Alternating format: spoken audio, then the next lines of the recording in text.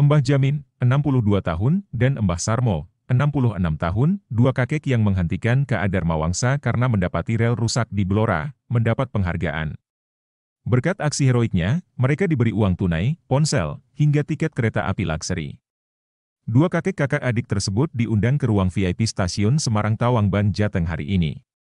Mereka langsung ditemui Kepala Daop 4 Semarang, Daniel Johannes Huta Barat dan jajarannya.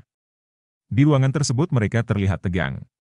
Daniel kemudian menyerahkan piagam penghargaan dan sejumlah hadiah mulai dari yang tunai masing-masing 10 juta rupiah, smartphone, hingga tiket pulang pergi ke Alakseri.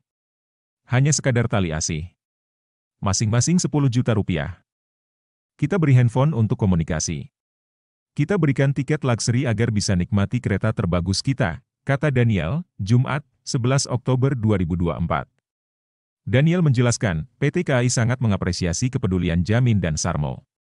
Apa yang dilakukan kakak adik itu menurutnya menandakan masih ada kepedulian masyarakat tentang keselamatan perjalanan kereta api.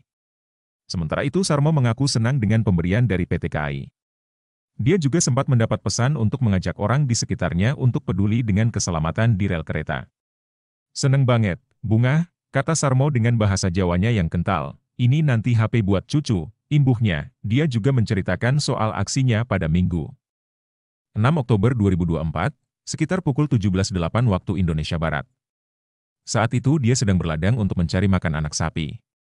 Saat melintas rel, dia melihat ada keretakan atau jarak antar rel.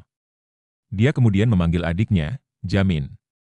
Saya lihat kau putus, saya sebenarnya mau lapor, ke KAI, ujarnya, karena saat itu sudah terlihat ada kereta, dia berusaha memberi sinyal ke masinis KA132 Dharma Wangsa dengan melambaikan tangan dan menunjuk rel.